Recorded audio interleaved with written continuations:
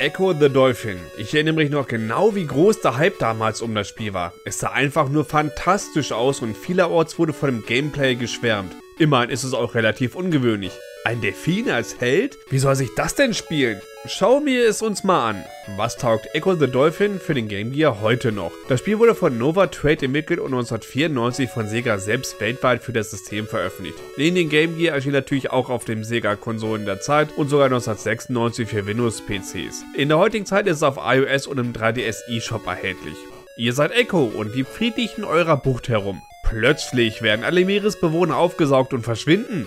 Eure Aufgabe ist es nun natürlich, das Mysterium aufzuklären und die vermissten Bewohner zu retten. Wie schon gesagt, spielt ihr einen Delfin und der springt natürlich nicht über Plattformen oder ähnliches. Der schwimmt im Wasser herum und genau das tut ihr auch im Kern. Gegner könnt ihr mit einem Dash erledigen und ihr könnt eine Schallwelle aussenden. Es gibt aber ein Kernproblem, das euch das ganze Spiel begleiten wird.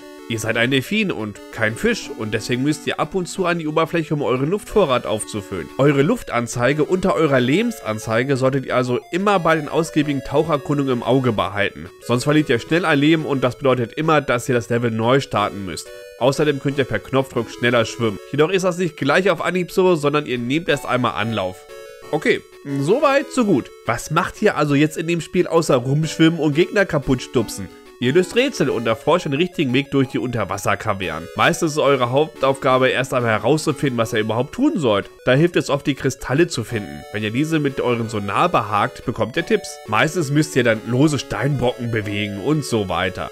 Lasst euch aber nicht von der süßen Optik täuschen, das Spiel ist recht knifflig und nicht so einfach zu meistern. Jedoch bekommt ihr nach jedem geschafften Level ein Passwort und müsst das Spiel so zum Glück nicht an einem Stück durchziehen. Euch wird nämlich einiges an Inhalt geboten und ihr solltet mit Echo länger beschäftigt sein. Das Spiel wurde echt wunderbar auf die Verhältnisse des Game Gears angepasst. Natürlich erwartet euch hier nicht die grafische Opulenz des großen Bruders, aber der Stil passt und alles scrollt jederzeit flüssig. Die Animationen sind sehr schön anzusehen. Auch der Sound braucht sich nicht zu verstecken. Die begleitende Musik schafft eine sehr schöne, passende Atmosphäre und auch die Soundeffekte sind gut gelungen. Technisch schafft das Spiel auf jeden Fall den Sprung auf den Handheld sehr gut.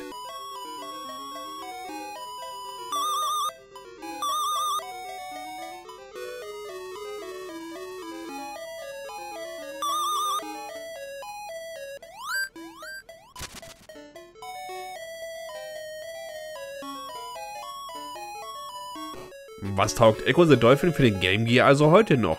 Das Spiel wurde sehr gut auf das System portiert. Auch dort macht es Spaß und leistet sich keine groben Schnitzer. Das Spiel ist mal etwas angenehm anderes und keiner dieser Standard-Plattformer. Die 16-Bit-Version ist natürlich noch besser, aber auch mit der Game Gear-Version macht ihr nichts falsch.